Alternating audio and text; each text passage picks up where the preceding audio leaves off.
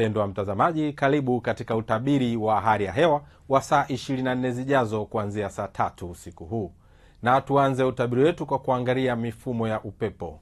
Upepo wa bahari unatarajiwa kuvuma kwa kasi ya kilomita 20 kwa saa kwa pwani ya kaskazini na utavuma kwa kasi ya kilomita 30 kwa saa kwa pwani ya kusini. Na hali ya bahari inatarajiwa kuwa na mawimbi madogo mpaka makubwa kiasi kwa upande wa ziwa victoria upepo unatarajiwa kuvuma kwa kasi ya kilomita 30 kwa saa. Ziwa tanganyika pamoja na ziwa nyasa upepo unatarajiwa kuvuma kwa kasi ya kilomita 20 kwa saa.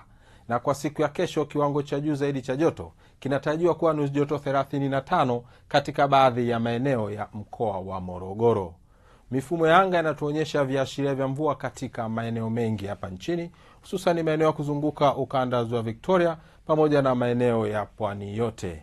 Na usiku wa leo maeneo ya kuzunguka ukanda wa victoria mkoa wa kigoma pamoja na mkoa wa katavi maeneo haya yanatarajiwa kuwa na hali ya mawingu kiasi mvua na ngurumo za radi katika maeneo machache.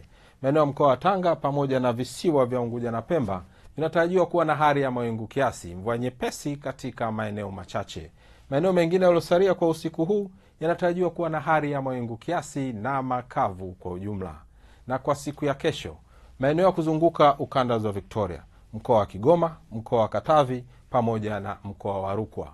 Maeneo haya yanatarajiwa kuwa na hali ya mawingu kiasi.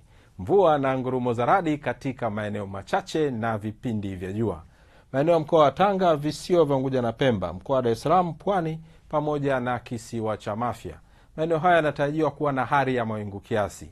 Mvua katika maeneo machache na vipindi vya jua.